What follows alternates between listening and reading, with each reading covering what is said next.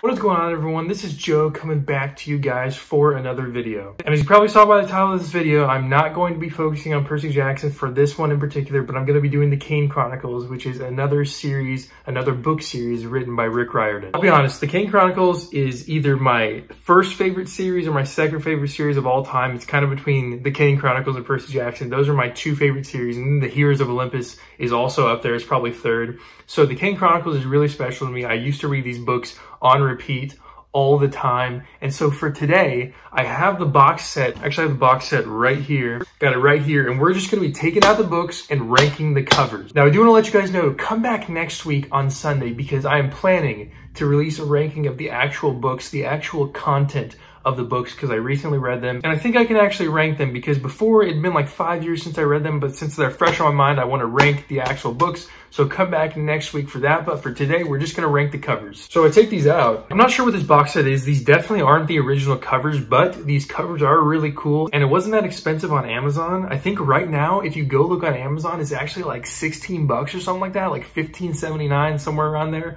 So it's actually a really good deal. But I'm just going to show you guys these covers really fast. So for the first one right here, we have the first book, The Red Pyramid, and that is the cover. And then we have the second book, The Throne of Fire, right there. And then we got the last book in the series, which is a really great book, and that is called The Serpent's Shadow, Right Chair. And a lot of people may not know this, but if you order this box set right here, this box set on Amazon, you get a bonus book I just set the box down. It was about to fall, so I had to save that. But in this box set, you actually get a bonus book, and that is The Red Pyramid, the graphic novel. And this book is actually flat as a pancake. It has no substance whatsoever.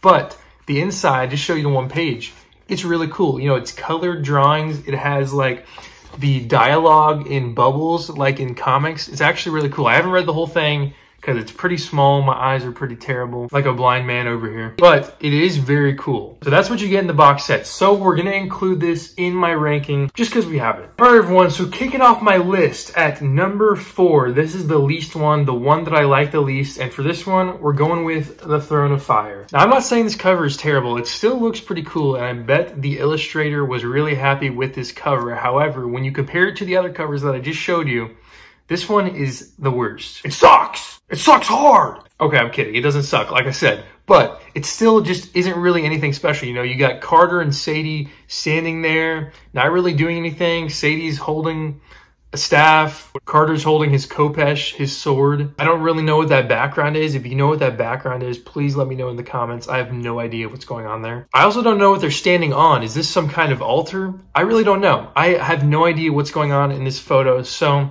for me, this has got to come into last place. And then in second place, we're going to go with The Red Pyramid, the regular novel. This one, it's, you know, it's a little more active than The Throne of Fire. Still not much going on here. Characters themselves, you know, they just do look more active. They look like they're actually doing something, whereas in the Throne of Fire, they're just standing there like morons. Total morons! But in this one, you can see some light right there coming from Sadie's whatever it is she's holding. And then Carter's over there looking like an absolute boss. Once again, I have to say, I don't know what's in the background there. Like, what is that behind them? It does it have something to do with the Red Pyramid, which is the name of the book, and it's the main subject of the book? I don't know. Let me know in the comments. I really have no idea what that is behind their heads. And then of course you got this big thing right here. Still no idea what that is. I, I don't know. I have no idea. So for this one, it's better than the Throne of Fire. Still don't know everything that's going on in this picture, so for me, it comes in in third place. All right, and for second place, we're gonna go ahead and go with The Red Pyramid, the graphic novel. For me, this one just looks really cool because it has all of the main characters on the cover. I mean, you got Carter, you got Sadie, you got Zia, you got Amos. Yes, I think that's actually how you pronounce Amos, A-M-O-S. It's not Amos, as I originally thought. It's actually Amos, which makes it sound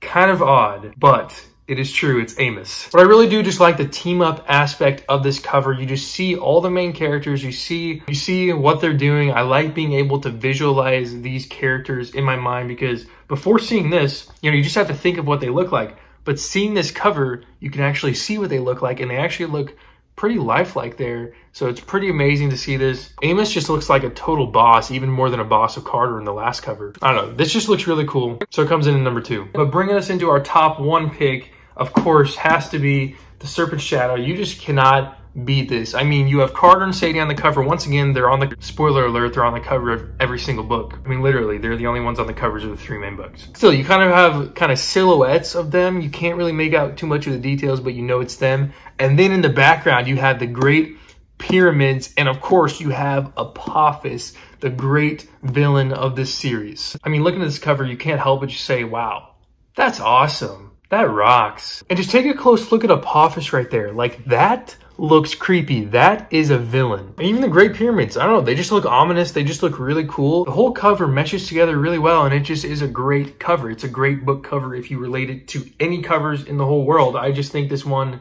is very cool. So yeah, that is to do it for my ranking. Once again, I had The Throne of Fire number four, The Red Pyramid at number three, The Red Pyramid, the graphic novel at number two, and The Serpent's Shadow at number one. We got to do a box set slap. And also, you know what? I haven't done a magic trick in a while, so let me just make these disappear really quick. Three, two, one. That's it. They're gone. Totally gone. I don't know how I just did that, but they're gone. Yeah, that was pretty cool trick. Oh shoot, did I just give my secret away? Oh, okay, well. Pretend you were amazed. But yeah, guys, that's to do it for this video. Go ahead and let me know in the comments what you thought of the video, if you liked it, if you disliked it. And let me know your ranking of the Kane Chronicles book covers. And also remember to come back next week for when I rank the Kane Chronicles books by their content. Sounds really weird when I say that. Be sure to come back next week when I rank the Kane Chronicles books. That's better. And as always, thank you guys so much for watching, and we'll see you next time.